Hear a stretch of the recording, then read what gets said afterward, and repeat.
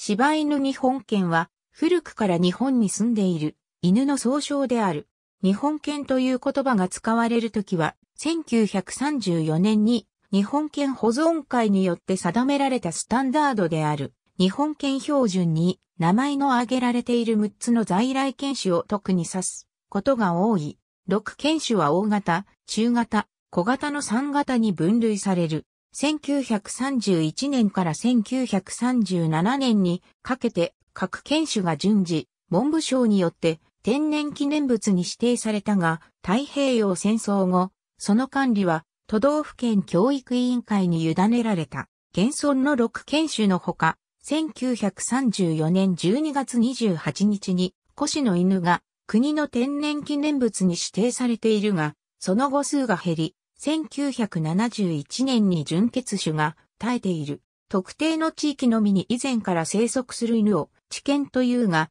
天然記念物に指定された7犬種の他にも、かつては各地に数多くの知見が存在した。このうち、この他、すでに絶滅しているとみられる知見には、厚馬県、津軽県、青森県、高安県、越後芝、秩父県、秩父狼県、赤城県、歌集県、星名県、戸隠県、あずさ山犬、天城県、熊野狼県、熊野県、大治県、日高県、高野県、明神県、那智県、阿波県、壱岐県、椎葉県、山、刈谷県、綾路県、日向奥古神殿県、日向県、古式山犬などがある。これらの中にも雑誌化した犬の戻し後輩による再作出、固定化という道が残されているものが存在するかもしれない。講義の日本犬には外来の犬種を元にしたり交配したりして作られた日本原産の犬種も含まれる。陳、土佐島県、日本テリア、日本スピッツの4犬種がこれにあたる。秋田県から派生したアメリカン秋田をこれに加える場合もある。これら講義の日本犬と区別して、純粋な日本犬を特に和犬と呼ぶこともある。ただし、アイヌの飼育犬、北海道犬については和犬の五感には馴染まない。日本犬の各犬種を遺伝子レベルで比較研究した知見によれば、北海道犬は琉球犬とともに共通の祖先縄文犬の特徴を伝える犬とされる。ピンとした三角の立ち耳、糞の尖ったくさび型の頭部、くるりと巻いた巻きなどを特徴とする。明治から昭和初期にかけて、洋犬の移入や交通の発展によって雑化の進んだ時期は、日本犬絶滅の危機であった。明治以来、舶来万能の風潮によって輸入された洋犬による日本犬の雑誌化が全国で意図的に行われた。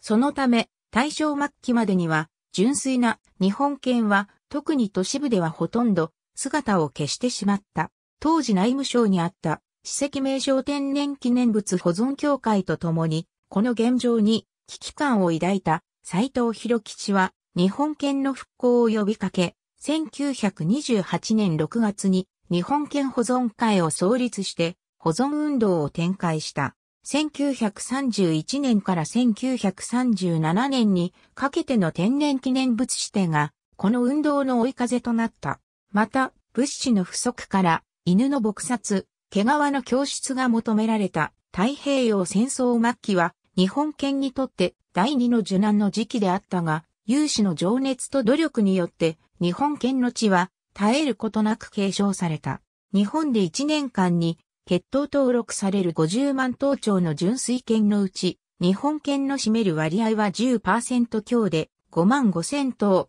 ほどである。6犬種の中では柴犬の飼育頭数が圧倒的に多く、日本犬中の約80%を占めると言われる。奇襲圏と四国圏がこれに次ぐ。ありがとうございます。